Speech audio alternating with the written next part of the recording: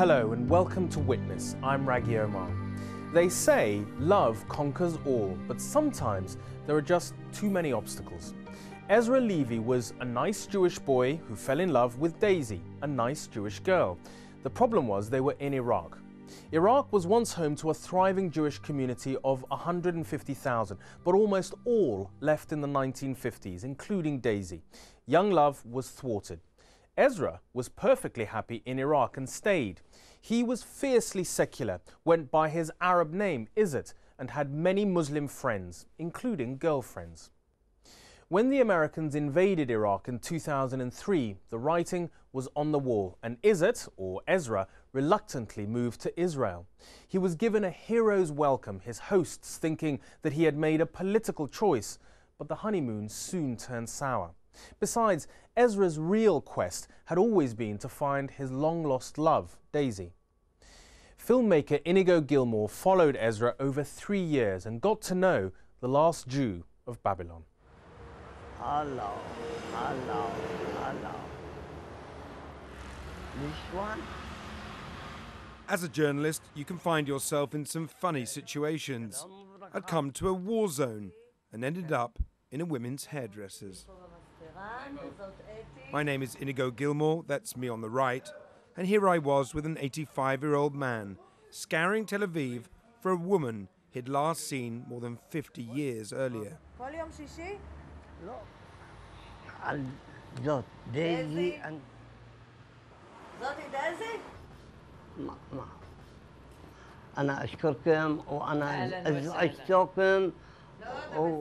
It looked like a wild goose chase.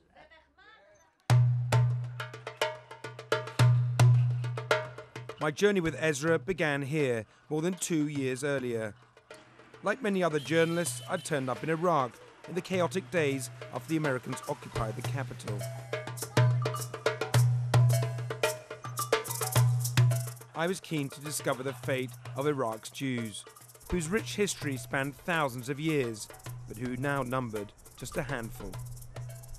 Barely 50 years earlier, there had been a prosperous, vibrant community of 150,000. I was led to the home of Ezra Levy, now almost the last surviving member of an ancient tribe, the Jews of Babylon. for Hanukkah, for Muslim. From the Jewish Hanukkah candle holder to framed inscriptions from the Holy Quran, Allah, the walls of his home were covered with multi faith objects. It spoke volumes about his unique life. أبويا هو معلم اللغة العبرية بالمدارس اليهودية وهو وأنا مثقف درست وراد من عندي أن أكون أنا رجل دين بس أنا رفضت الحمد لله For the first time in many years, Ezra spoke to relatives in Israel Hello who had left Iraq half a century earlier. My brother, what happened to you? I can't stop. I am crying. And leave the phone. I didn't know it at the time, but Ezra was the only member of his family who didn't go to Israel. A fight over a woman named Daisy had split the family. Before I left, Ezra went upstairs to retrieve an item of great sentimental value. You want to go to Jerusalem? I like to go, but don't know. You think you will go Maybe in the end of my life. And see my family and son and dad.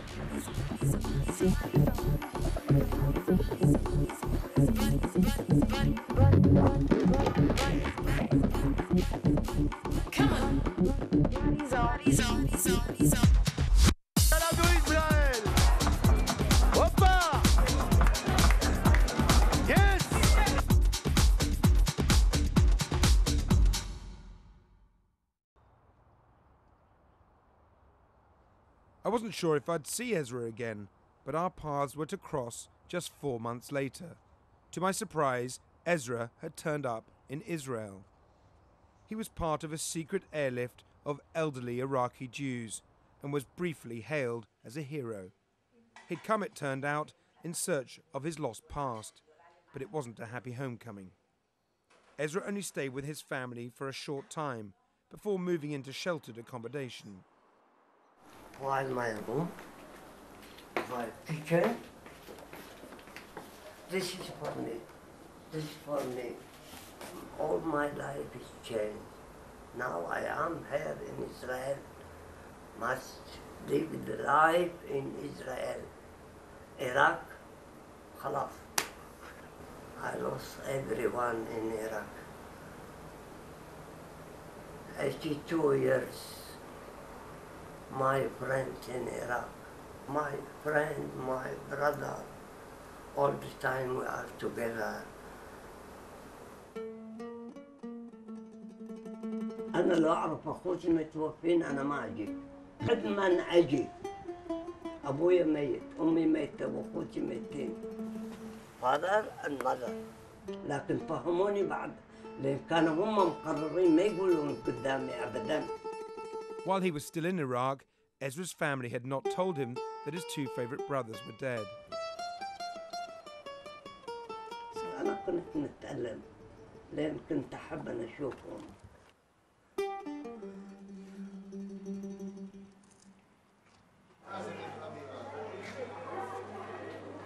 Every school child here is taught that in an anti Semitic world, Jews are naturally better off in Israel. But Ezra's own experience challenged this assumption. שלום לכולם. מכבד אותנו אה, עזרא, אה, יהודי יקר, שעלה אה, מעיראק, ועוד מעט יציג מתי, איך. קשה לכל אזרח לש- לשרוד בשלטון דיקטטורי, על אחת כמה וכמה ליהודי. אחד מהיהודים האחרונים באמת ששרד שם את עיראק. ואת סדאם חוסיין. בוקר טוב. בוקר טוב. חג שמח. היום אני באתי לפה לדבר עמכם ולספר על החיים בעיראק. סדאם חוסיין לא נתן ליהודים זכות חופשית בארצו. אם ככה, מדוע אתה עדיין חי? איך הצלחת לשרוד את כל זה? סדאם עשה אולה בפלוט כמה אחד על עש. אני בעיראק הייתי טוב. גן עדן לא טבע עמך האנשים האלה. הלכתי מגן עדן לישראל.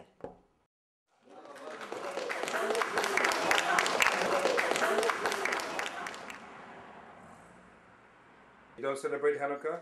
No. All the time I'm sitting alone. What is Hanukkah? Hanukkah, lo Hanukkah. Ah.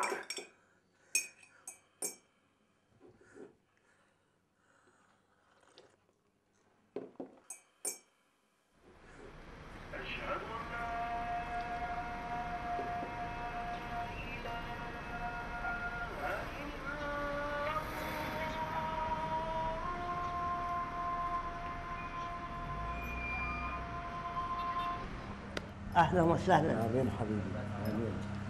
Ezra feels lonely and stifled in the old people's home, but he comes alive during occasional visits to the ancient port of Jaffa, which still has a large Arab population. الفاتحة أنا أروح معاهم أقرأ الفاتحة نفسها في أحد الأيام We are Arabic I am Jewish Arabic My country is Arabic All of us we are Arabic Arab Jew is not a description easily accepted in Israel. Most Israelis who are originally from Arab lands have discarded their Arabness long ago.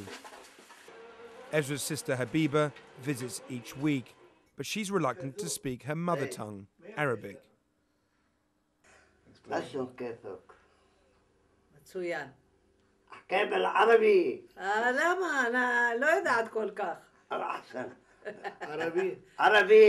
Arabish, Because everyone knows we are Arab. Ah. We are Arab. Yalla.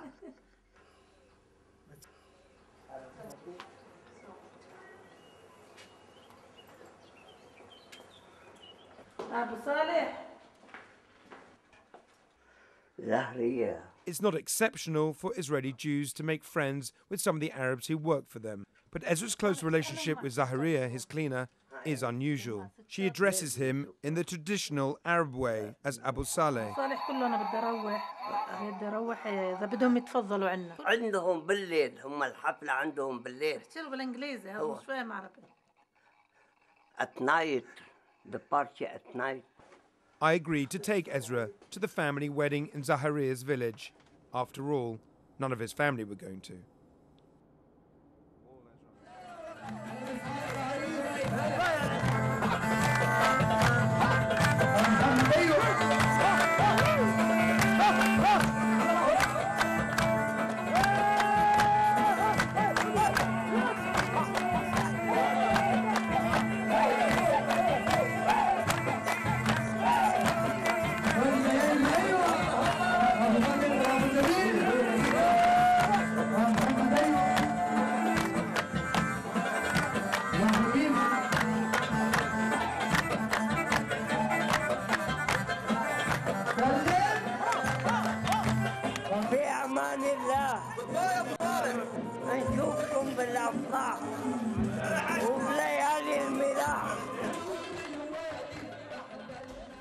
Several months later, I returned to see Ezra after another trip to Iraq. Ezra?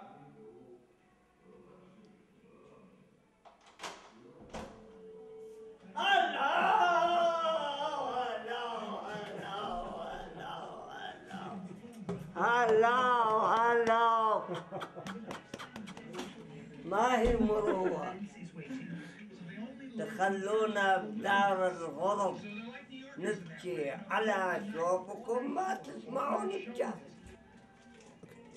He appeared isolated, and his thoughts turned to the past. He was more determined than ever to find Daisy, the woman who'd been at the center of his family breakup. Ezra had asked his youngest sister what happened to Daisy as soon as he got to Israel.